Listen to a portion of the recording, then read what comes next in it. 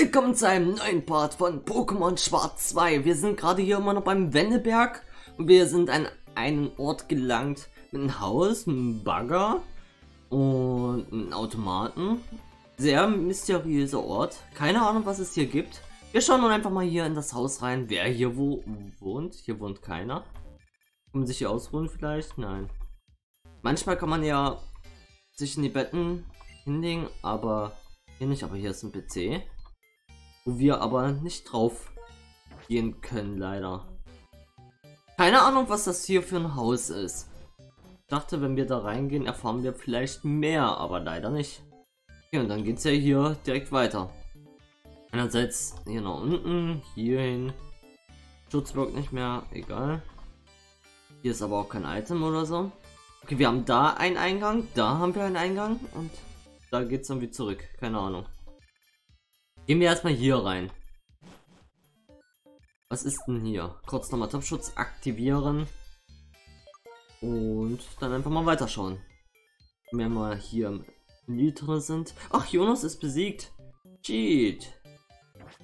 Dann werde ich Jonas mal ganz schnell heilen. Ich weiß nicht, gegen wen wir im letzten Part noch gekämpft haben. Muss wohl ein härterer Gegner gewesen sein. Ja, stimmt, ich habe ja auch noch Kummermilch, brauche ich ja keinen Hypertrank einsetzen. Na, egal. So, ich pack auch mal Luke mit nach vorne, weil Jonas ist mit, mit am höchsten gelevelt.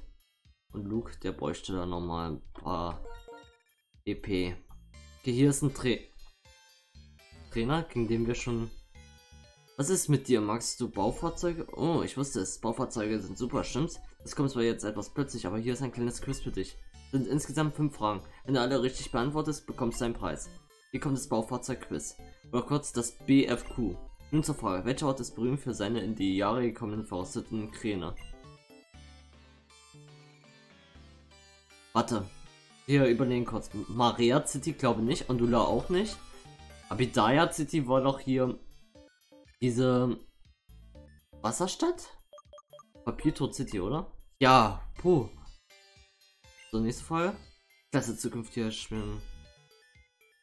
Ach, immer nur tagtäglich einmal. Okay, hier geht's raus. Lol. Ne, Bio City. Okay. Da ist die nächste Stadt. Nein, ein würdes Pokémon. Shit. Ein Stallobor. Kennen wir ja schon zu Genüge, flüchten wir auch.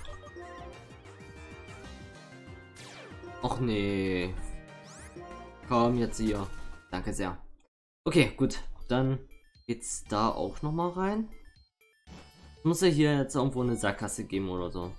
Will ich mal behaupten. Hier geht's nicht weiter und hier geht's raus. Was ist denn? Hä? Manche Wege machen gar keinen Sinn. Zum Beispiel wie dieser hier. Der macht doch gar keinen Sinn. Soll ja auch ein Item hier versteckt sein, aber... Ich weiß gar nicht, wie ich da hinkomme. Es gibt ja noch einen anderen Eingang. Da schauen wir kurz nach. Okay, ein wildes Pokémon. Ein Onyx. Level 57. Flucht. Ach, Flucht gescheitert. Ist das dein Ernst? Komm jetzt hier. Danke sehr. Es ist ja auch nur ein Onyx, von daher. So noch beim letzten Feld hier. Ey. Okay, gut, dann gehen wir hier in diese Höhle rein. Hier muss es ja noch was geben. Da ist jemand. Das ist ein Trainer? Nee. Doch dort, wo du ni wo nichts zu sein scheint. Du wirst unter unerwartetes finden. Hier, das ist für dich. Ich habe vorhin schon ein Fossil gefunden. Ein Domfossil. Okay, hier findet man ein Fossil. Warum finde ich bestimmt noch ein Fossil? Komm ruhig wieder vorbei, wenn du willst. Aha, da kriegt man täglich ein Fossil. Hätten wir ja auch gebraucht am Anfang des Let's Plays. Wollte ich ein Pokémon Was ist das hier für ein Ort? Der sieht komplett anders aus und so ein komischer Stein. Ja, bitte Schutz mal weiter aktivieren. Was ist das? Berüste einen mit der Eisschicht überzogenen Felsen, erstarrst du selbst zu Eis. Okay.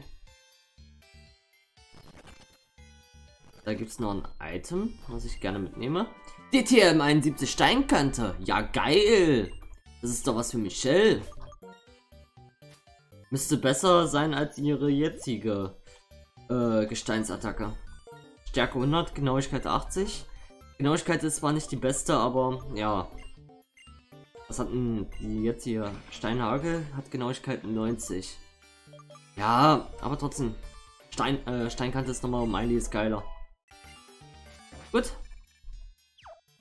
Ja, die ETM hatte ich auch schon öfters im Blickfeld sozusagen.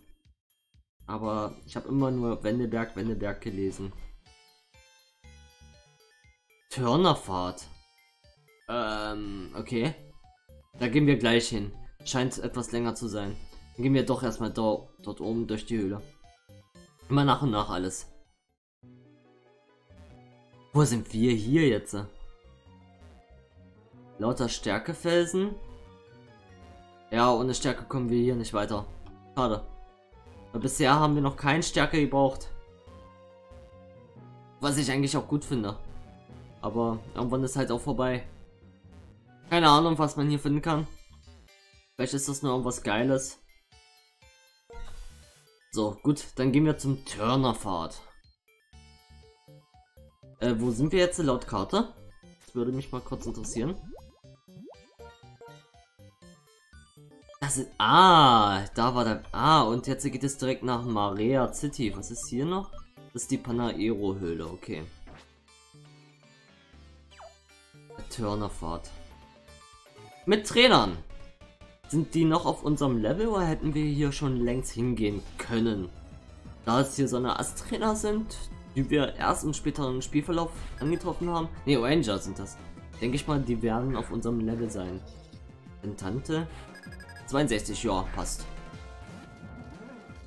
Allerdings kann ich mit Luke hier eher weniger was anfangen. Ich wechsle zu Finn. Vierfach Schwäche gegen Feuer. Ein Flammenwurf und er ist weg. Er setzt Gegenstoß ein. Als müsste er sich natürlich einen Geist-Pokémon einsetzen. Aber macht nicht so viel Schaden. So, Finn, Flammenwurf, tschüss. Ja, keine Chance. Auch wenn wir fünf Level drunter sind. So, ein Venefliebes, okay. Ist vom Typ Pflanzegift. Nico ist auch auf Level 57, genauso wie Finn. Aber ich lasse mal Finn hier drin. Durch den Pflanzentyp ist natürlich die Feuerattacke auch wieder sehr effektiv. Reicht das für Level 58? Hm, durchaus möglich? Ja, sehr schön. So ein Willi. Das war so ein... Ja, ja, ja. Da bleibe ich am besten bei Finn. War, glaube auch ein Pflanzen-Pokémon oder so. Vielleicht sogar Pflanze Geist, Pflanze und nicht, weiß ich jetzt nicht. Auf jeden Fall können wir jetzt. Oh, okay. Nicht. Was ist das für ein Typ?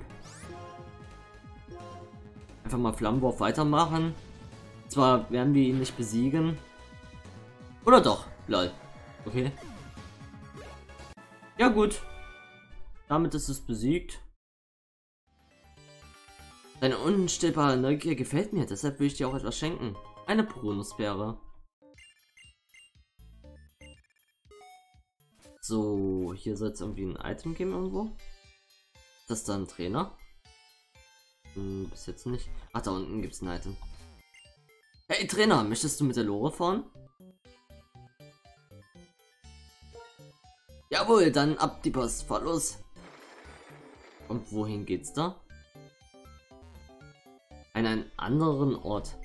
Wir, wir gehen da woanders, äh, woanders hin.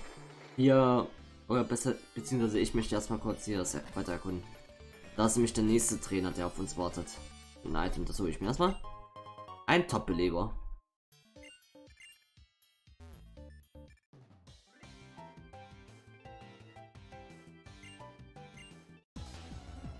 Gut, was hat er denn für Pokémon? Das waren glaube ich immer die Typen, die auch Dram-Pokémon haben. Ne, Arbeiter ist das. Ein Georock, okay. Kann ich leider mit Luke wieder nichts anfangen.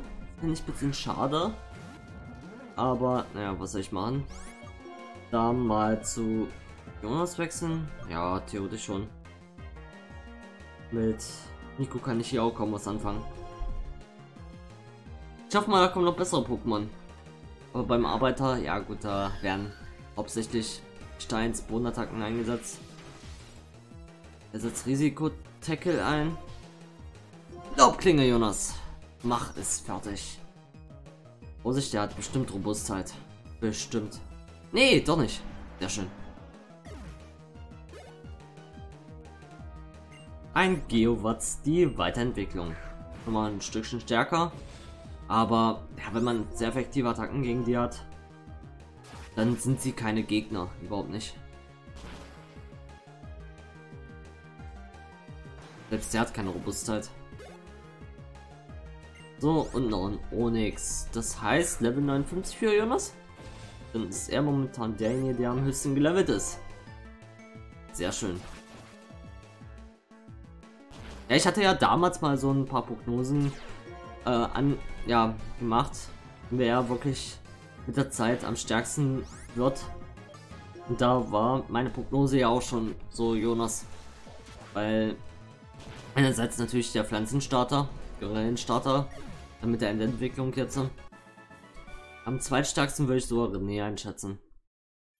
Und danach, hm, schwierig, schwierig. Jeder hat da seine Schwächen, aber auch seine Stärken. Michelle kann ordentlich reinhauen. Das kann eigentlich so gut wie jeder hier trotzdem reinhauen. Wir haben ein sehr, sehr gutes Team. Das wirklich miteinander abgestimmt ist. Das finde ich halt auch so gut hier. So. Ach, eine Surferstelle, nochmal eine Stärkestelle. Okay. Und der nächste Trainer.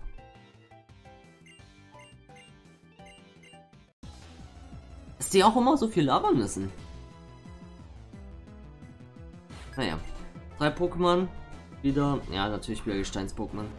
Ist halt wieder ein Arbeiter. Ist halt eine Mine. Und in der Mine sind halt Arbeiter. Nur nach meinem Geschmack sind das einfach zu viele Gesteins-Boden-Pokémon in letzter Zeit. Man merkt es an Nico und Luke, die beiden können hier nicht leveln. Weil einfach die Pokémon dafür hier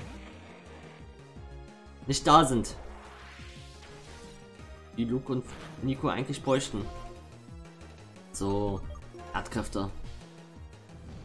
Stimmt, Erdkräfte eigentlich äh, äh, 2 AP zu geben.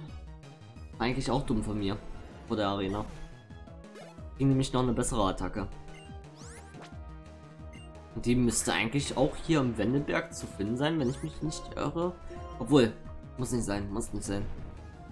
Wir haben ja generell hier schon geile Attacken gefunden. Einmal einerseits Steinkante, äh, hier die äh, Stahlattacke, hier Lichtstrahl, glaube ich war das. Auch Explosion, dein Ernst? Mit 1 KP überlebt er und dann macht er natürlich Explosion.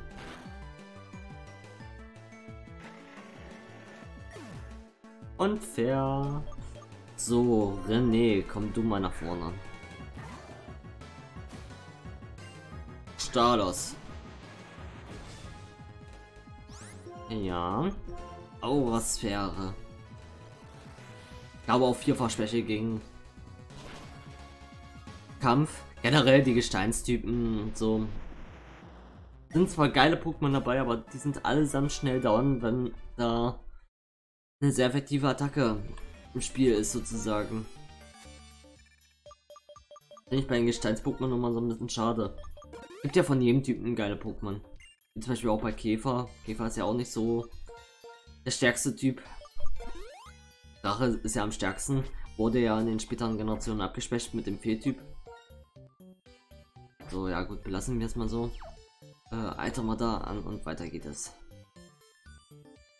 Da ist der nächste Trainer, ein Ranger. Der hat doch hoffentlich mal andere Pokémon dabei. Wie vorhin.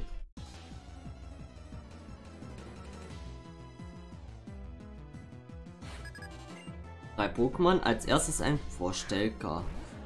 Okay. Kriegen wir das hin? Ich hoffe. Ich weiß allerdings nicht, was der für ein Typ hat. Das ist das Problem. Daher versuche ich es mal einfach mal mit Donnerblitz. Mal sehen, wie viel Schaden das macht. Ja, ist doch schon mal ordentlich. Magnetflug setzt er ein. Damit fliegt er jetzt und keine. Also und die Bodenattacken wirken nicht mehr gegen ihn.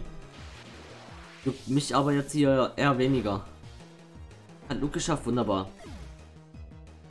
Level 57. Damit holt er jetzt endlich auch mal ein bisschen auf. So, Kastelit. Ähm. Ja, wechsel ich zu Finn wegen Käfer. Wohl war da nicht Käferpflanze irgendwie so? Äh, Käferwasser? Stimmt. Hätte ich eigentlich gar nicht so Finn wechseln sollen. Das war ein Fehler von mir. Da kriegt das Finn noch so hin, wie man das merkt. Oh, Felswerfer, was ist das für eine Attacke? Kenn ich gar nicht. Natürlich sehr effektiv, Typ Gestein. Finn ist weg. Ach man. Luke, komm du wieder. Du kriegst den Rest auch noch hin. Ja, mit Finn jetzt ein bisschen doof gelaufen. Was soll ich machen? Ja, wäre so normal effektiv. Cheat. Und ein Amaldo. Was war das? Ich kämpfe einfach mal weiter. Was ist das für ein Vieh? Sag mir was, aber den Typen kann ich überhaupt nicht einordnen. Okay, Spitzer kommt, hohe Volltrefferquote. War aber allerdings kein Volltreffer. Ja, wir haben es letztendlich doch noch geschafft hier. Allerdings leider ist bin down gegangen. Kurz nochmal in Beute reingehen. So, wir kriegen nochmal eine Bonusbeere. Haben wir eigentlich von den anderen schon bekommen. So, Beleber. Brauchen wir eigentlich mal wieder ein paar Beleber? Nee. Nicht unbedingt. So. Dann Kumo-Milch für Finn. Und Supertank für Luke.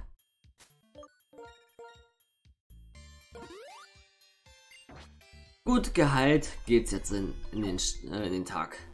Ich würde jetzt ja sagen in den Start, aber dann merke ich so, das ist irgendwie grammatikalisch falsch. Ein Metallmantel. So. Gut. Dann gehen wir mal weiter hier in die Tiefe. Okay, ein Tor. Mit dem nächsten Trainer, wieder ein Bergarbeiter. Georg, Onyx, Stalos, Geowatz, sie grüßen.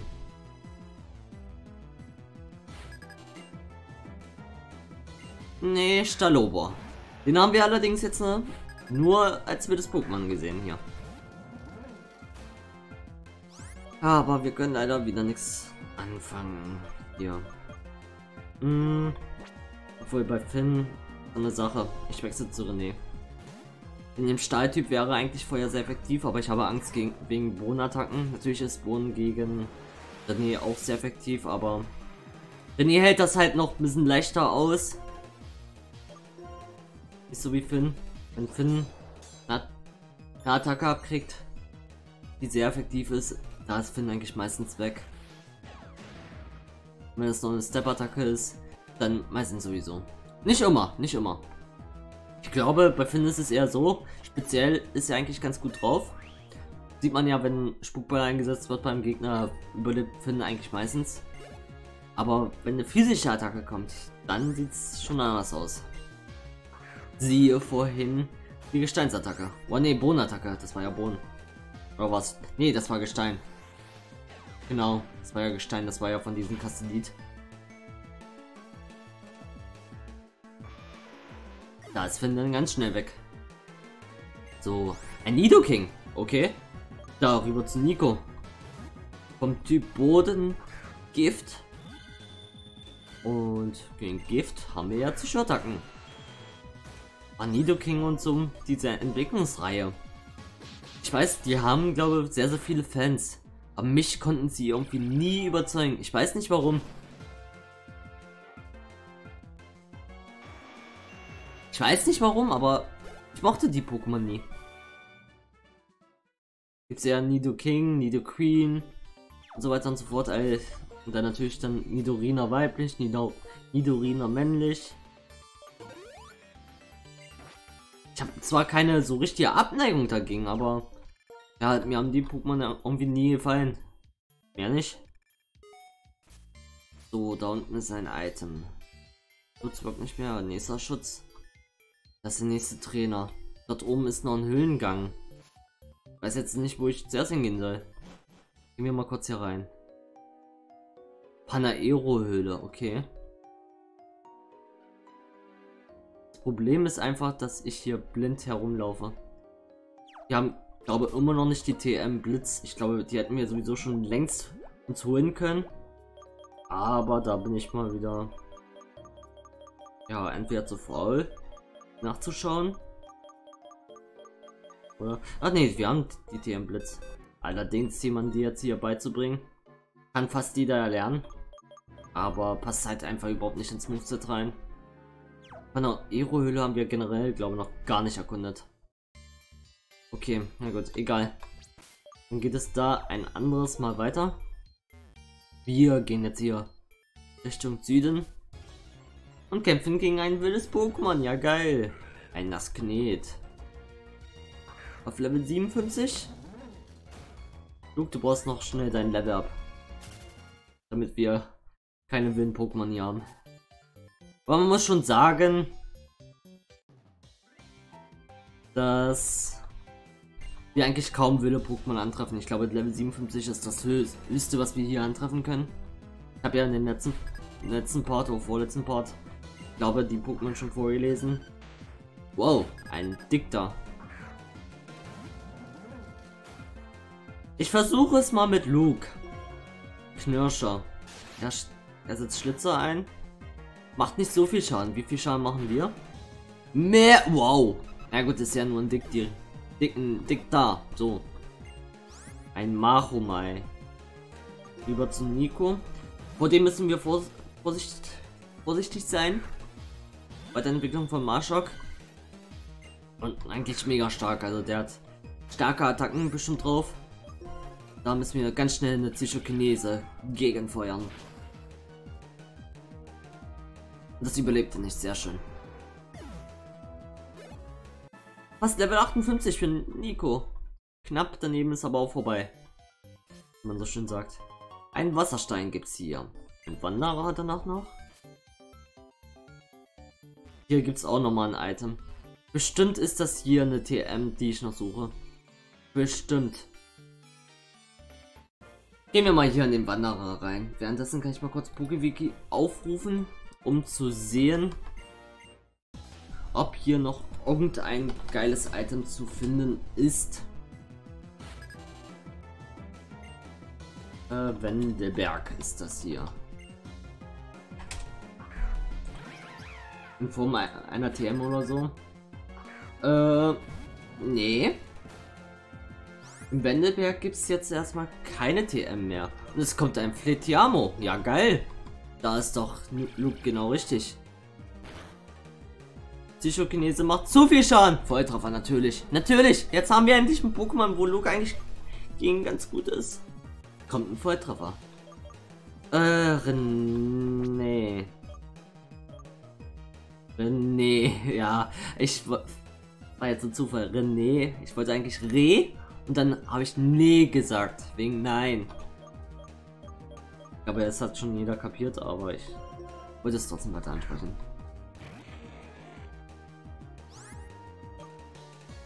So, dann, weil ich es nicht akzeptiere, dass Luke jetzt hier down gegangen ist, den Beleber einsetzen. Und dann mit Michelle Steinkante die neue Attacke einsetzen. So, keine Wirkung. Wir treffen sogar. Sehr schön. Das muss weg sein. Ja, Volltreffer.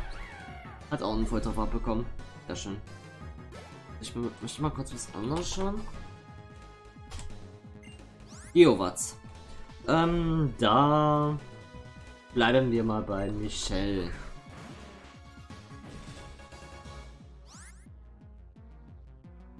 Okay. Erdkräfte.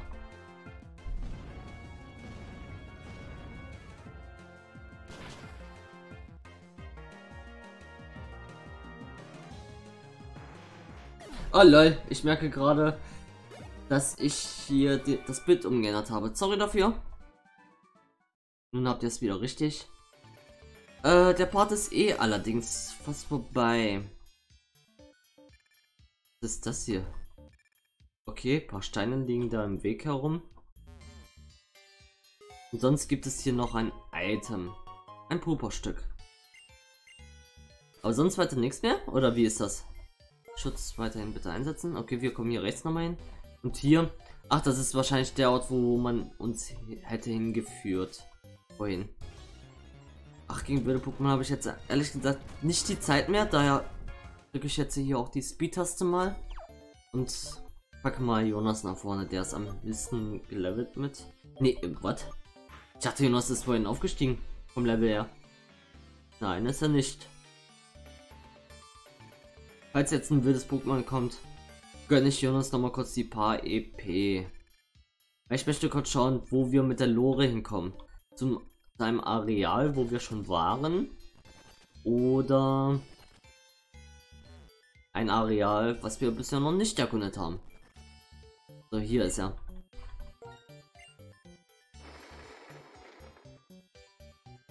So, schauen wir mal. Ne, hier waren wir noch nicht. Da gibt es einen Stärkefelsen, den wir leider auch nicht bewegen können. Hier auch. Ach toll. Na klasse. Okay, gut, meine lieben Freunde, dann sehen wir uns im nächsten Part wieder.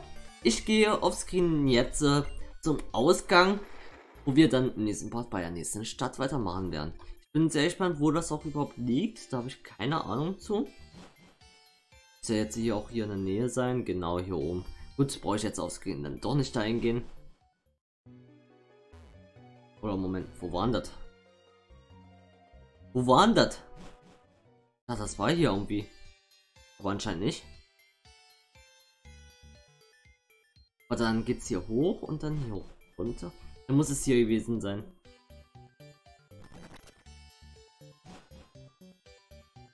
Genau, und hier oben dann der Höhenausgang. Okay, ich habe den Weg doch noch gefunden. Das finde ich sehr, sehr super. Und dann geht es hier im nächsten Part weiter. Bis dahin und tschüss.